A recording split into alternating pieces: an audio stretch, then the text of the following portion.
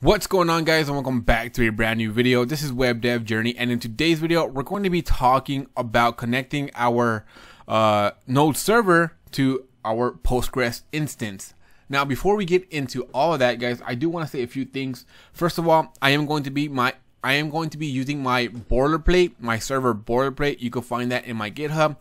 I'm gonna leave a description down below as well, a link in my description down below. And guys, this is just the way I like to set up my server. It's nothing special. It's just the way I like to set up my server. Uh, so if you have your own way of setting up your server, by all means, go ahead and use that. I'm just I'm just letting you know there is going to be some code and not I'm not going to be explaining it. The reason why I'm not going to be explaining it is because I do have a video of like how I set up my my server. So if you are interested in using my boilerplate for my server, here's a video that explains that. I'm not going to be telling you what's happening with all that stuff in my server okay? Or the way the things that, the things that I do, okay? And I will have a link uh, of the video as well in the description down below. Another thing, guys, is that I do have a mini series databases for Node.js, and this basically tells you how to use or when and how to use a specific database for certain situations.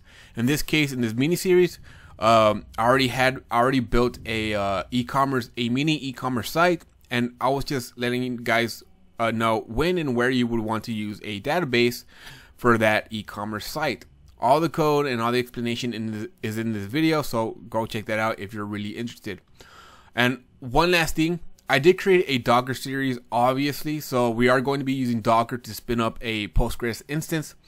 Again, this is not if you don't you don't need to use Docker. Honestly, some people don't even have Docker, right? Because I think it's what for Windows 10. I'm not sure if they changed that, but for Windows 10, you have to have uh, I forget the edition that you have to have, man. It sucks. The thing is, not that not not everybody's gonna have Docker. So if you don't have Docker, you could obviously install Postgres right into your local machine. Just notice that the only difference between that or Docker and that is that you're going to be spinning up a locally or Postgres locally on your machine and we're going to be spinning up a instance with using Docker. But everything else is just the same. Just get a Postgres instance running on your machine. That's all you need to do, okay? And guys, if you do hear a noise in the background, that's that's uh music. My wife listening to music, so sorry about that. So anyways, let's get right into the video. Just wanted wanted to clear up some stuff, all right? Let's get it right into the video. So the first thing we're going to be doing is running a Postgres instance with using our Docker. So if you go to Docker Hub, type in Postgres, they have some uh, explanations on like how to set it up and what is Postgres, right? So what I'm gonna do is just copy this and go to our, you know, right here, our uh, terminal or CMD, whatever you want to call it, man, command prompt.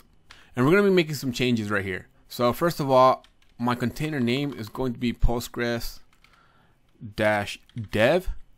And the password, Postgres password, is going to be admin for me in a way So admin. And then uh, I am going to want to map my ports. So I'm mapping my local machines 5432 to the default port of Postgres, which is, you guessed it, 5432. And one last thing, I am going to add in RM so that way once we close out of this connection it's going to delete my container. I, I honestly don't want this container to run on my computer if I'm not using it. So once we get out of it, it's going to delete it, which is good for me anyways. So if you hit enter, uh, oh, the dollar sign, home, delete that. All right, if you hit enter, there you go you should have a Docker or a instance of Postgres. There you go. I have my container ID and my name of this container is Postgres-dev. All right, now it's time to set up our uh, server and we're going to be just following this just for a bit, you know. Um, so installing, we're going to be installing Sequelize and also PG, pg-hstore for Postgres. But guys, you can use whatever uh, database you want to. It does not really matter because it's going to be mostly all the same. So you could use whatever you want, but in this case, we are going to be using Postgres, so we're going to be uh, in, um, saving PG and PG HStore modules as as well as Sequelize. Okay, so let's go to our app. Uh, where is it at? Right here. All right. So like I said, this is my my uh, server. So anyways, over here, npm i pg pg-hstore um, and Sequelize. Hit enter. Just wait a bit. All right, there we go. And we are going to be adding some options. So going into the config, into the index.js, into our development, because this is where we're going to be uh, doing most of our stuff right now in development. What we what we want to do is add a property called right here called Postgres.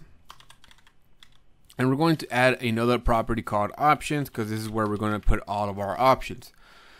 All of our options is being what host is it going to be. So our host is going to be localhost. Obviously, if you're running this in a server, you're actually running a Postgres in a server somewhere. You want to type in that actual URL right there. Next up is the port. What port are we using? 5432. Um, database. What's the name of our database that we're going to be using? And uh, I'm gonna give it a name of dev. I don't know. I'm just gonna give it a name of dev. Um, the dialect di dialect. What dialect are we using? And we're using the Postgres dialect. Uh, another one is two more, two more guys. I know this. I know this is a lot. So user name is going to be by default is literally Postgres. And don't worry, guys, we are going to be talking about how to add another user and also how to change or add a password to that user. But for right now, we're not going to be doing that. It's just username and Postgres. Maybe at the end of the video, I'm not too sure. I'm not too sure about that right now. But for right now, username default is Postgres and the password is the password that you uh, gave it. So in this case, in our right here, our password was admin. If you're doing it locally, setting up Postgres locally, your password is going to be the password that you set up. Uh, you, you, you should have been prompted to enter a password. Next up, I'm going to add after the options, out of options, I'm going to add a client uh, property and we're going to give it null. Right now, obviously, we do not have a property, I mean, a client, because we haven't even tried to even log in or um, what's it called, connect to our database yet. So we don't have a client right now. So it's going to be null, but we are going to be getting a client right now. So control save this, and there we go. Now we have all of our options. Now, uh, before we move on, there is one more option that we can do. It's totally optional, but since we are doing it, it's this logging option, right?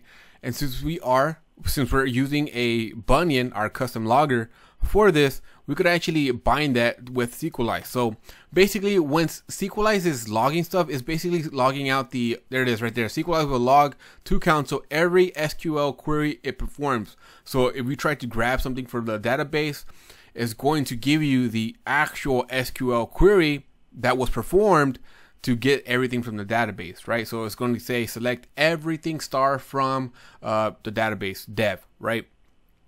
So it gives you everything. It's going to log that out. Since it, it is going to be doing that, obviously you could set this to false, but I kind of like seeing those logs come out so that way you can learn a little bit more what's happening uh, if you're trying to learn more of a syntax way. So what I'm going to do is literally just grab this. Like I said, you don't have to do it, but this is just an extra step. I don't think that many people do it anyways. But since there are people that prefer uh, doing this, I am going to be setting this logging right there. And we are going to grab a message from Sequelize and we're basically just creating another logger. So right here, what I'm gonna do is get our logger, the one we just created, and it's going to be dot .info and passing in that MSG, that message that we're getting from Sequelize. And that's it. That's all you have to do, okay? So control save this. All right, now let's try to connect to our uh, database. So over here, since we did install Sequelize, this is where we're going to require it. So Sequelize. I always get confused. Is that how you spell Sequelize? It's going to equal require Sequelize. There it is. Yeah. So uh, there you go.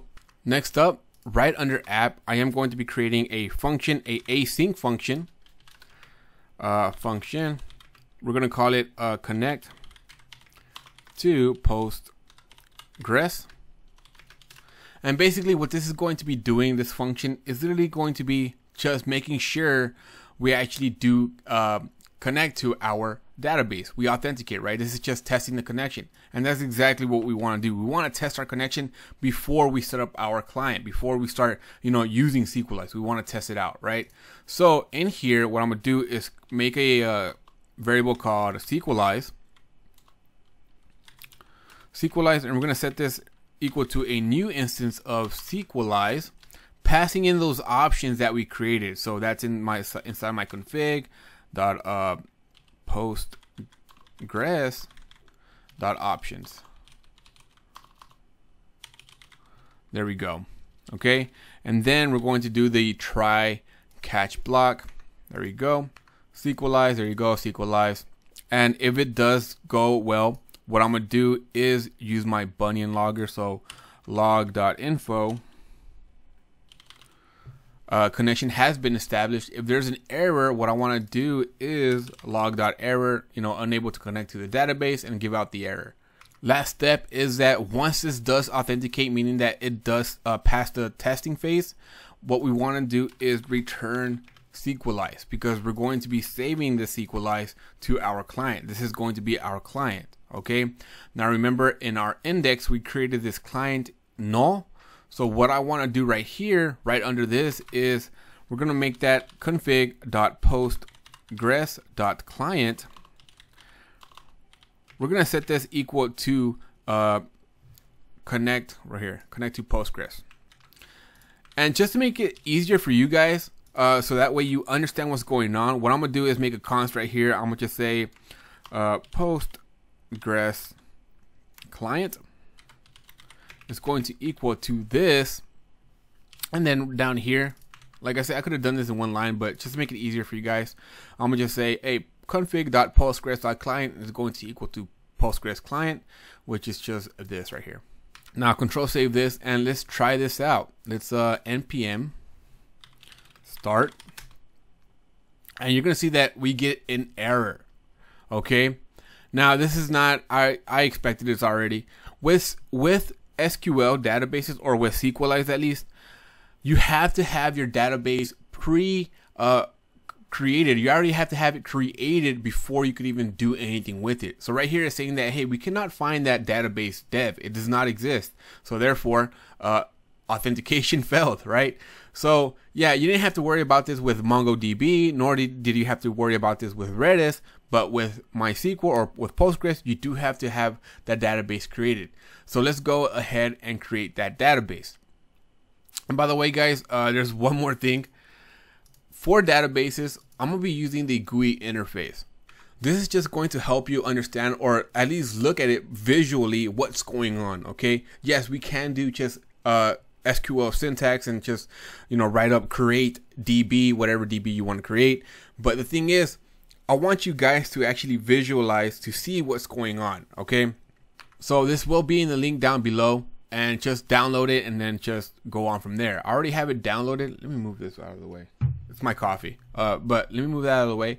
And then, oh, by the way, um, if you do want to support me, buy me some coffee. Link down in below, please. I'll be greatly appreciated. Anyways, I already have this downloaded, so I'm gonna open it up. Okay, I'm opening it up. This is just a one two. It gives it opens up your browser, and we're going to be creating a server. So right here, this is a group, a group of servers, right? This is just literally a group. So inside of that, you could literally create it outside if you want to, but I'm gonna create it inside of here. I'm gonna create a server. Okay. Now in the service, you do have to give it a name. So this name is going, I'm gonna just say local uh, dash dev because I want to make sure that this is, uh, I know that this server is our local dev server. So moving on to the connection tab right here, what we need to do is say where, what the host is it, which honestly it's our local host. Now this is this is the same if you're running uh, Postgres locally on your machine now for Docker, it might be a little different depending on how you did it. Now, if you're following along and you did it the way I did it, localhost is your answer. But let's say that you did not, uh, what's it called? You did not do this port mapping, right? You did not do this. This this is a case where you're going to need to find out what the IP address of the container is. And there's a simple code that you could do. Uh, I will have this in the description down below and this is the code and all you have to type in is the the name of the container. So my name of the container is postgres dev and then this is the IP address of this container right here the one that we're running. And this is what I would be putting over here if I did not if it I did not put that uh, port mapping. But since we did port mapping dash p uh, we're good. We just need to type in localhost Next up is our port 5432. Yes, ma maintenance da database Postgres. Yes, leave that alone for right now. Username default, like I said, is Postgres. Our password is admin. And then that's it. Let's save it. And this should work. As you can see, it does work right here. And as you can see, we, we have a Postgres uh, database. Um, but in our application, where's our application? We're, we're trying to get a dev database. So we need to create a dev database. So right inside of database, right click and create database. Call this dev. Save it. Okay. Wait, what did it say? Oh, it already exists. There you go. Never mind. And then, uh, yes, yes. Uh, let's try to refresh this. I don't see it, so I'm gonna refresh it. There it is, right here. It's on, as you can saw. It's on. It was next, so X means that it's not up and ready yet, but now it's ready. So now that we have our dev database, let's go back to our application.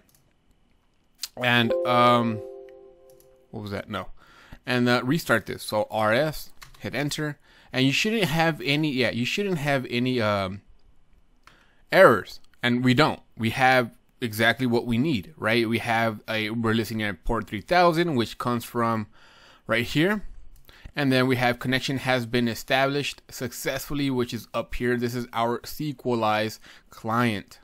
And there you go. Now we have a fully functional uh, server connecting to our database, and we can start doing whatever we want with it, right? We can start creating models and all that stuff. Um, we are going to get into some properties here, like things that you could do with here inside of PG admin, but we're not going to get super heavy on the PG admin because this is not a PG admin series. Honestly, this is a different series on its own. You could do so much themes with this stuff and it's super, super cool. But this is a Postgres and Sequelize uh, series, so that's what we're going to stick to.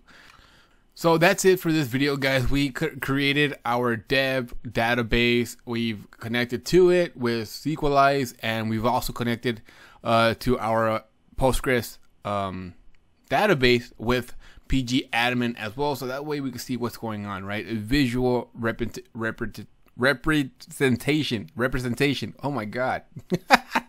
Anyways, so that's it, guys. Thank you, thank you so much for watching my video. I hope you learned something today. This is just the beginning of the series, guys. Next, next up, we're gonna be starting. We're gonna start to create models and all that stuff. So stick around for that, guys. I, I hope you do, and I will see you in the next video. Thanks. Bye.